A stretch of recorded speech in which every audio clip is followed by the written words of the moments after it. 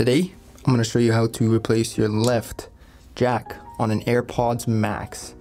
So, first thing you do, get yourself a P5 bit and what I like to do is remove the headphones from the headband just makes it easier to work on you can see the bit that I use looks kind of like a SIM card tray remover. And if you do have one of those which most people do you can use that press down in here and then just pull directly out to get your left cup isolated. Now I have a P5 bit here and I'm just going to screw the screw slightly in each direction you can see that I only turn them about half an inch either way I will be grabbing a pry tool I will be coming in kind of sideways pushing until the pry tool is wedged. Now I will pry up. This adhesive is very strong. Some of the newer AirPods Maxes that came from Apple are very tight like this. So with the new ones from Apple, I do like to have two pry tools to use but if you don't, you're going to just have to finesse your way on either side of the cup. Okay, you can see this is bent, so I'm just gonna flatten it out, make it more stiff. Okay, now this is a little bit straighter. I'm gonna go ahead and give this another try. I think I will grab a flat head for this since that would be the next most available tool for most people. So with this flathead, I'm gonna try to use it as extra leverage. I'm also gonna use my fingers here. Once I have enough room for my four fingers, I'm just gonna pry like this. You can see that was very difficult. You gotta love the new AirPods Max adhesive, very strong. And before, AirPods Maxes used to only have tape around this outer ring, and then they started adding them right here, this new section of tape around the speaker, which makes it like 15 times more difficult.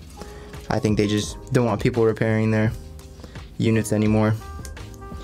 And I will warn you guys, you will probably scratch up and scuff this part of your AirPods Maxes unless you are a professional or you put some tape right here, which I do recommend for you guys to put some tape right here if you don't want to scratch this up or scuff it because it can be very easy to do that. Put a T4 bit on and remove the speaker.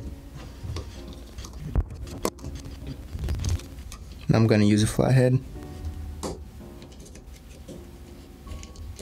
All I'm doing here is just twisting. Take your speaker out, set it to the side. Now next will be these screws right here on the Bluetooth board. Now I'll be transitioning to a T2 bit. Just taking off these brackets. Oh, hey Joe, what are you doing in there? Trying to fix my headphones to save some money. That sure is a strange way to save money. Why don't you try switching to our channel partner, Mint Mobile, instead? They have the largest 5G network in the nation. Is that the Breathmints company? No, I mean, it's not minty fresh like that, but they can save you a bunch of money. Their plans start at just $15 a month. How much do you pay? I pay $80. Dude, that's insane. It only takes like 15 minutes to switch over. You could save so much money. You could get yourself a new office. You can fix your headphones up right. Sounds good. I'm gonna switch right now. You should switch too. Check out the link in our description. All right, well, check it out, Joe. Have a good one use my flathead, take off these ribbons, set that to the side, and then I'm gonna use my flathead again and peel this Bluetooth board out. Now I'm going to pry this clip which is the headband jack clip that goes into the Bluetooth board. And as you saw, I just went in and used this metal part on the Bluetooth board as leverage and I peeled it to the side. Sometimes you're gonna have struggle and it won't be as easy as what you just saw. So I'll just go a little bit on each side until the clip is completely off. Set that to the side. Now we're going to grab this and pull it. So this is the headband jack ribbon and it's clipped in right here into this little section and I just pull it pull it out make it loose now we will need a you can use a T4 but you have a high chance of stripping these screws right here these four screws that keep the headband jack down. So I just like to use a T5 to play it safe. Now we're gonna start unscrewing these. There's one. There's two. Three. See that ribbon was kind of in the way so I just pushed it out. And the last one. So now I'm gonna switch my bit again back to the T2 and we have to unscrew these two screws right here. Now I'm just gonna pry up with my finger or you can use a flathead if you want. You don't want to use much force here but just pry up enough to the point where you can undo that little ribbon in the back you can see it's right here. Once that's done you're gonna put your flathead right here and you're just gonna wiggle it around until you pull it out this way. It becomes loose and now obviously you can take it out. And then grab your other good headband jack. Now that you have your good headband jack you are going to kind of do the same thing where you put this part up against the side of your headband. Jack I like to use the flathead because my fingers aren't small enough. So I'll press against the side like this and I'll insert into this right here where it goes to that general section. So you can see if you're going to just press it down, that ribbon will get in the way. So again, the key here is you press the ribbon to the side. That way this part of the housing doesn't get in your way. So now I'm gonna show you guys. So I'm gonna line it up I'm going to push the ribbon to the side, just like that, and then push it in.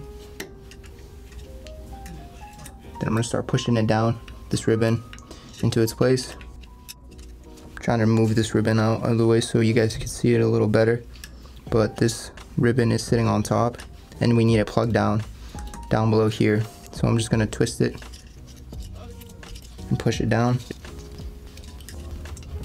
Okay, now that it's down below. I'm going to clip it in. This part is kind of tricky to show for you guys. You could hear I just clipped it in. So time to screw these screws back in.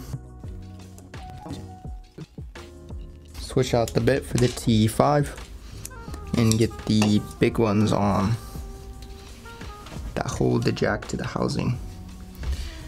Ooh, so little dilemma here. You can see that the ribbon underneath right here kind of getting in the way.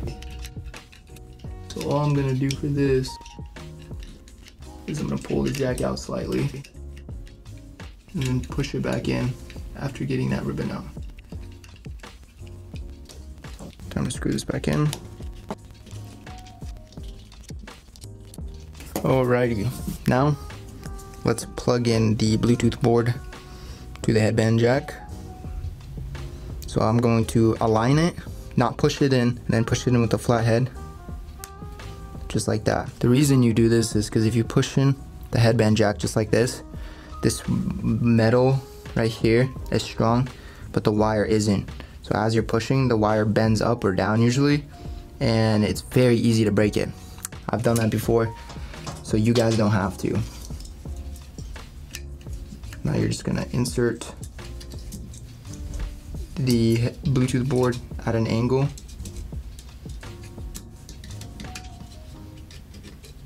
You just stick these wires up. Now I'm just gonna plug these wires in.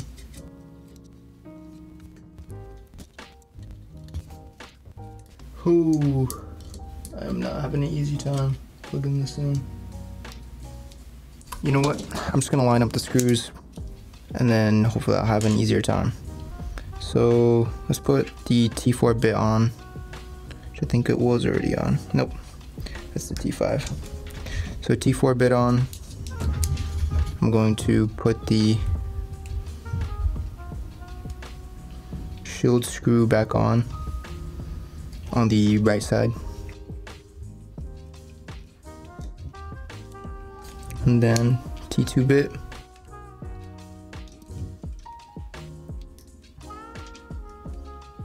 Now I'm gonna try again.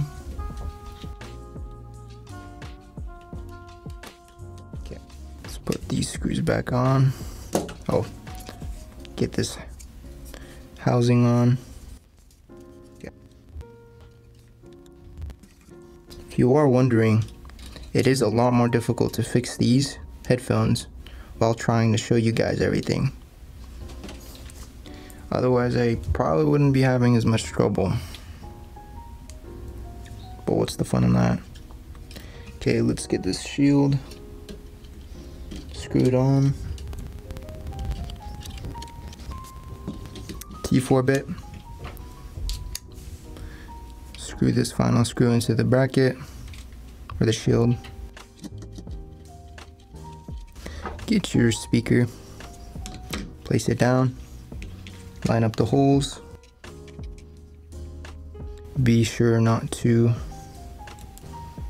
accidentally screw, put a screw, sorry, put a screw into the center of the speaker.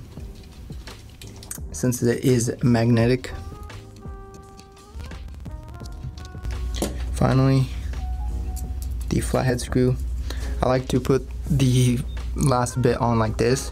That way it doesn't get sucked into the speaker. I place it down like this. I use my finger to push it down. And then I just start screwing like this. Try to show you guys on camera. Now that's tight. You grab your assembly place it down, switch out the bit for P5, and now tighten up these screws. And if you notice, I go this way, then this way, then this way, then this way, and then vice versa if you're going to loosen it. With that being said, now you know how to replace your left headband jack on an AirPods Max. Finally, you click it in. You can hear that perfect click. And now your headphones should be working if this was the issue. If you're looking for any of the parts that you saw in this video, they will be on our website, joesge.com. You guys have a good day. Peace out. Thanks for watching the video, guys. If you guys love what we do, please support us. You guys can click on the links that we have on the end screen. You guys can buy parts, sales, or service so we can continue to make great videos for you guys for many more years. Thank you.